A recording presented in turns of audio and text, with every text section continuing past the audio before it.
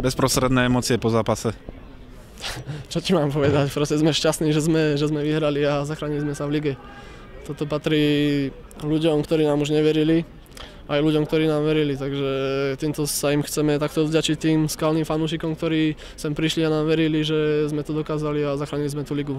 A, a dúfam, že budúci rok sa bude hrať o iné prečky, ako sme hrali tento rok. Tá penálta to bola veľká drzovka, trošku si sa nebal toho, že keby brankár zostal stať v strede?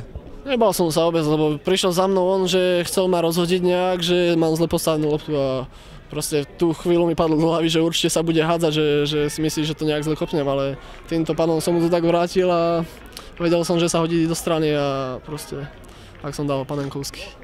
Čo ti prebleslo hlavou po poslednom výzde rozhodcu? Neskutočná kameň, veľký kameň zo srdca nám padol všetkým, lebo celý rok ako sa nám nedarilo, prehrávali sme zápasy v posledných minútach, či už to bolo, no proste mohol by som to na, prst, na obi dvoch rukách spočítať, aj 10 zápasov, sme takto prehrali a celá smola, sa nalepila celý rok a toto bolo také, neviem to ani vysloviť, proste sme neskutočná úloha. Tréner prezradil, že vás zobral pred zápasom na rybačku a na nejakú grilovačku, asi to zabralo teda. A zabrala aj tebe nejaká ryba? Tak ja som asi najhorší rybár v Strednej Európe, lebo tam iba stačilo hodiť udicu a hneď sa ryby skákali na to, takže a ja, mne to trvalo asi 5 minút, kým som chytil prvú rybu, takže boli sme na tej rybačke a bolo to v podstate, aby sme si ten posledný, pred tým posledným zápasom, aby sme sa dali nejak dokopy, zomkli sa proste, aby sme tu uspeli a udržali to, tú ligu.